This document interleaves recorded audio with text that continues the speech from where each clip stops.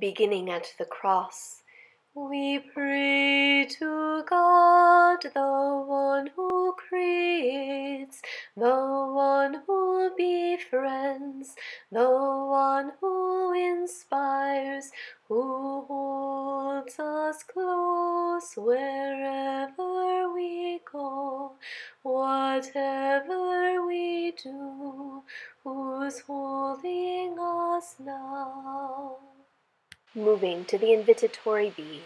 God creates life, life beholds beauty, beauty begets love, love is the life of God.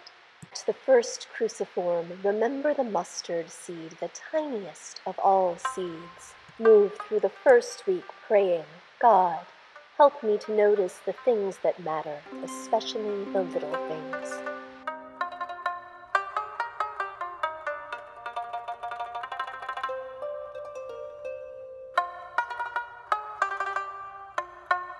At the second cruciform, remember the mustard seed being planted in the ground. Move through the second week praying, God, help me to trust in your plan and your power.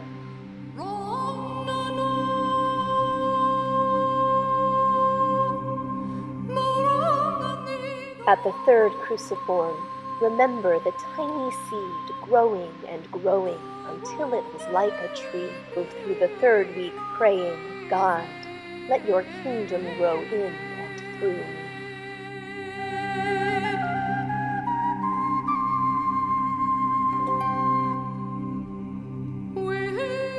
At the fourth cruciform, remember how the birds of the air came and made their nests in that tree.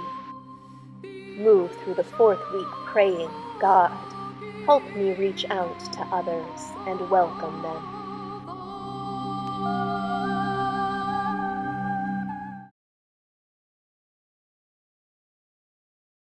Return to the invitatory and pray. God creates life, life